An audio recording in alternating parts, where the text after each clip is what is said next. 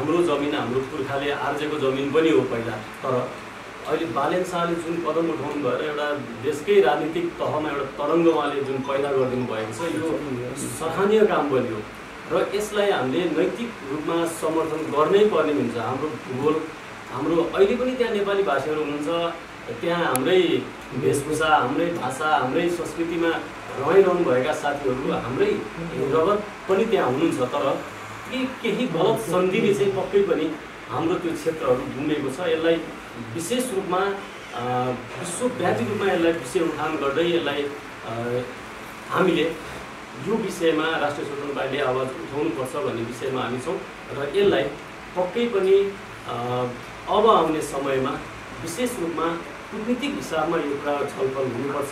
त्यो गर्नको लागि राष्ट्रिय स्वतन्त्र पार्टी अगाडि बढ्नुपर्छ र बढ्छ भन्ने विश्वास त लिएकै छौँ। लिनु पनि पर्छ। यसमै मैले एउटा। यो तपाईँलाई थाहा छ ग्रेटर नेपाल भन्ने। इन्डियाले जुन चाहिँ नि नेपालका कतिपय लुम्बिनी लगायतका भागहरू समेटेर उसले चाहिँ आफ्नो संसद भवनमा चाहिँ नि एउटा नक्सा चाहिँ राख्यो। अखण्ड भारत। अखण्ड भारत। भनेर राख्यो। त्यसको काउन्टरमा आएको हो यो। हामी यसमा चाहिँ के कुरा चाहिँ स्पष्ट पार्न चाहन्छौँ भने राष्ट्रिय स्वतन्त्र पार्टी देशको एक इन्च पनि भूमि कसैले पनि उसको नक्सामा राखेको हामी हेर्न चाहँदैनौँ। र प्रत्येक नेपाली नेपालका चाहिँ नेपाल यो बनाउनका लागि लडेका हाम्रा पुर्खाहरू जुन बलभद्र भिक्षेल टापादेखि त्यो बेलाको चाहिँ जुन छ उहाँहरूको रगतको हामी उच्चतम कदर गर्न चाहन्छौँ र अहिले जुन चाहिँ नि विश्व संयुक्त राष्ट्र सङ्घले जुन चाहिँ नि मानेको जुन नक्साहरू छ त्यसको चाहिँ नि मित्र राष्ट्र भारतले पनि अक्षरश पालना गर्नुपर्छ गिद्धे दृष्टि लाउनु हुँदैन र नेपाली जनताको चाहिँ मन दुखाउनु हुँदैन भनेर नै यो आएको हो। यसमा सबैको चाहिँ साथ सहयोग तपाईँहरू पत्रकारहरूको पनि साथ सहयोग हुन्छ। तर हामी यो यो पनि भन्न चाहन्छौँ हामीलाई अरूको भूमि चाहिँदैन। हामी जे छौँ हाम्रो भूमि गुमाउन एक दिन पनि अरूले नलेस भन्न चाहन्छौँ र हाम्रो यो भूमिलाई चाहिँ समृद्ध बनाउन नै हाम्रो चाहिँ प्रमुख लक्ष्य हो र त्यो चाहिँ अहिले चाहिँ इन्डियाको यो काउन्टरमा आएको भन्ने तपाईँले बुझ्नु भएको छ।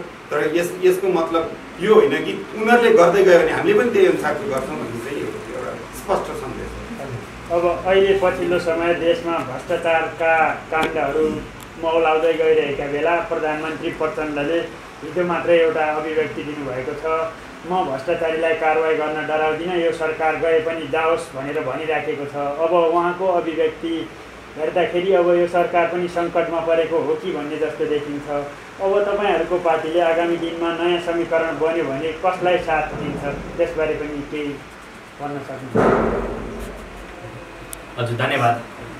अब हामी नयाँ समीकरणको अहिले हामीले त्यति धेरै परिकल्पना गरिरहेको अवस्था छैन। देशको यो विभिन्न परिवेशले घटनाले प्रधानमन्त्रीज्यूको चाहिँ आफ्नो मन मस्तिष्कमा मानस पटलमा आएको सोच हुनसक्छ। तथापि हामीले फेरि यो अहिले हामीले बागमती प्रदेशको हामी यो कार्यकक्षमा छौँ। यहाँ बसेर यसको चाहिँ निर्णय गर्नु त्यति स्वाभाविक हुँदैन होला जस्तो लाग्छ।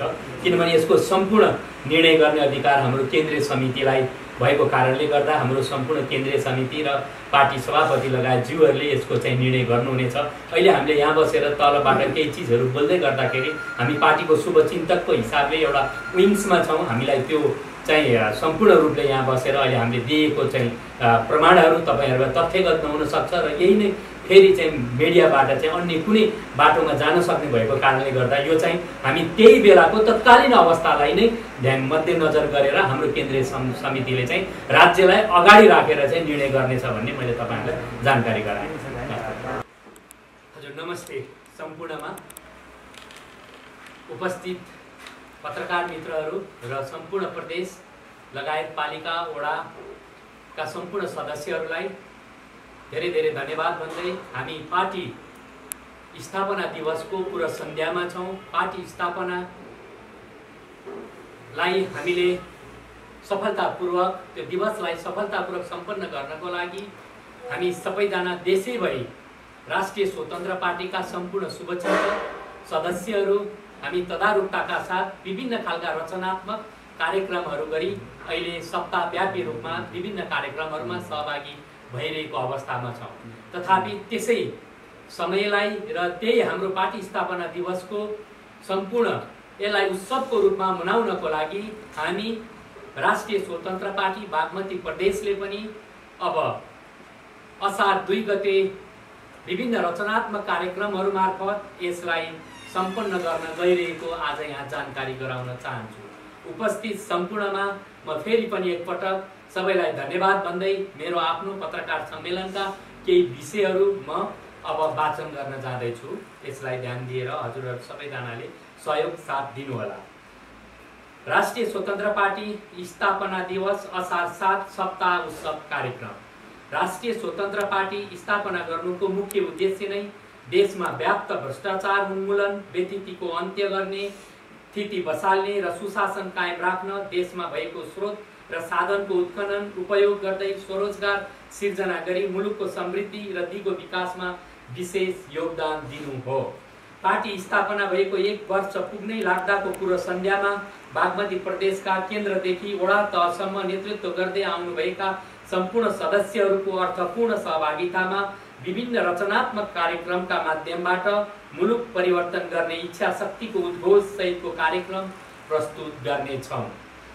मिति दुई हजार असी असार दुई गते शनिबार बिहान सात तिसदेखि सामाकुसी चोक र बालाजु माछा पोखरीमा जम्मा भई टोखा नगरपालिका वडा नम्बर एकमा अवस्थित झरना पार्टी प्यालेसमा वृहत रक्तदान कार्यक्रम तथा वृक्षारोपण कार्यक्रम सहित छोटो पैदल यात्रा जसलाई हाइकिङको कार्यक्रम रहेको हुँदा सम्पूर्ण पार्टी सदस्यज्यूहरू नेतृत्व पङ्क्ति तथा न्याय प्रेमी जनसमुदायहरू सम्पूर्णमा उपस्थितिको लागि हार्दिक निमन्त्रणा गर्दछौँ उक्त कार्यक्रम राष्ट्रिय स्वतन्त्र पार्टीका केन्द्रीय सभापति एवं माननीय श्री रवि लामिछाने ज्यूको प्रमुख आतिथ्यता केन्द्रीय सदस्यहरू माननीयहरूको उपस्थितिमा सम्पूर्ण सम्पन्न हुने जानकारी गराउँदछौँ।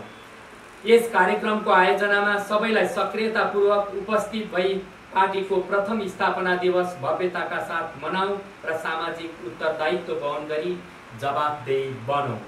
राष्ट्रिय स्वतन्त्र पार्टीले विधिको शासन मार्फत हामीले परिकल्पना गरेको समाज निर्माण गर्न आवश्यक जल जमिन जङ्गल जडीबुटी र जनशक्तिको उच्चतम प्रयोग गरी सकारात्मक परिवर्तनको यात्रा सफल पार्न मूलत सन्देश दिन चाहन्छौँ। धन्यवाद। लागेको छ एक वर्षमा आफ्नो यो जुन स्थापनाको चरणलाई तपाईँले कसरी समीक्षा गर्नुहुन्छ? कतिको सकारात्मक प्रयोग सफल रह्यो र अब आगामी दोस्रो वर्षको योजनाहरू के के छन्? संक्षिप्तमा जानकारी गराउन सक्नुहुन्छ?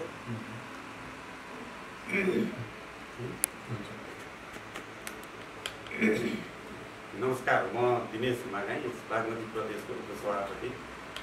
यो तपाईँको प्रश्नको यो उत्तर चाहिँ नि हामी सबैलाई थाहा छ यो सायदै यो संसारमै हाम्रो छोटो अवधिमा राष्ट्रिय स्वतन्त्र पार्टीले पाएको सफलता हामीले जुन आम निर्वाचनमा बिस सिट प्राप्त गरेका थियौँ र एघार लाखभन्दा बढी हामीलाई चाहिँ मतदाताले भोट दिनुभएको तपाईँलाई जग जाहेर छ। र यो बिचमा देशमा भएका तमाम विकृति विसङ्गति जुन चाहिँ नि जुन राज्यले जनताले खोजेका चाहिँ जुन विकासका योजनाहरू पुरा नभएको कारणले राष्ट्रिय स्वतन्त्र पार्टीप्रति आम जनताको चाहिँ एउटा आस्था आशा भरोसा र आगामी दिनमा यो स्वतन्त्र पार्टी नै एउटा निर्विकल्प शक्ति हो भन्ने खालको चाहिँ उहाँहरूको चाहिँ अहिलेको तपाईँले माहौलले पनि देखाउँछ र आगामी दिनमा हामी यो प्रथम वर्षको भर्खरै एक वर्षको सायद बच्चा नै भर्खर बामे सर्ने हुन्थ्यो होला। हामी अलिक हिँड्ने नै अवस्थामा पुगिसकेका छौँ। र आगामी दिनमा चाहिँ हामी सबैले बागमती प्रदेश मात्र होइन सातैवटा प्रदेश केन्द्र र सबै हामीलाई माया गर्ने आम जनताहरूको साथ सहयोग लिएर हामी अगाडि बढ्नेछौँ र हामी देशलाई एउटा समुन्नत देश बनाउने योजनामा छौँ र त्यसका लागि हामीले आफ्नो तर्फबाट जति सक्ने हाम्रो चाहिँ योगदानहरू दिइरहेका छौँ। हामीले समय त्यही अनुसार दिइरहेका छौँ र समग्र देशका सबै नागरिकहरूलाई पनि हामी त्यही आग्रह गर्न चाहन्छौँ कि उहाँले पनि यो हामीलाई साथ सहयोग दिनुहुनेछ र आगामी दिन चाहिँ नि जनताको चाहिँ इच्छालाई आकाङ्क्षालाई एउटा विकासको मोडलमा चाहिँ राष्ट्रिय स्वतन्त्र पार्टीले मात्रै रूपान्तरण गर्न सक्दछ। भन्ने चाहिँ हामीलाई लागेको छ र जनतालाई पनि त्यही लागेको छ। र अहिले हामी भर्खरै स्थापना भएको कारणले कतिपय कुराहरू हामीले पनि सिक्नुपर्ने अवस्था भएकोले हामी त्यसलाई पनि परिष्कृत गर्दै अझ हामीले दिनुपर्ने डेलिभरीहरू चाहिँ हामी जोरदार रूपमा र आम जनताले खोजेकै रूपमा चाहिँ दिन हामी दम तयार अवस्थामा छौँ।